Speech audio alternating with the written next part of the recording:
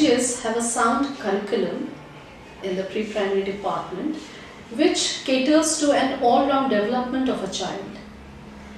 We follow a pedagogy which uh, supports holistic learning where each child matters and each child is given an opportunity to learn at their own pace.